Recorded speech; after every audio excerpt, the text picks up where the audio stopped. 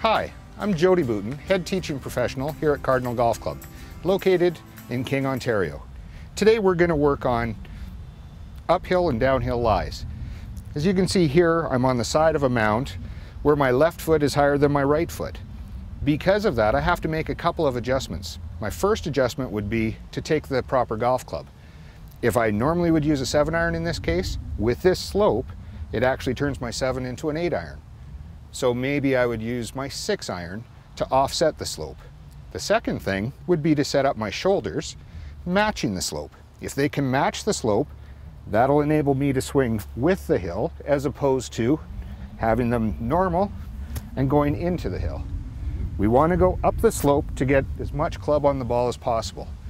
If you need a little visual for what the shoulders look like in your setup on a slope, try to get your shoulders matching the slope that you're on.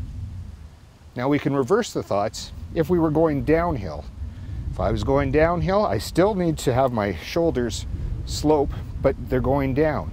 My golf club would end up having less loft. So I would have to take one with more, maybe an eight iron instead of my seven. Making that little adjustment will make both those shots a lot easier for you, enabling you to get it back in play and shoot some lower scores. Try this the next time you're on the course.